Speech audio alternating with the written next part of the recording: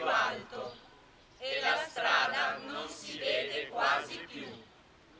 È cresciuto anche un albero sopra quel palazzo. Adesso mi avvicino. È un albero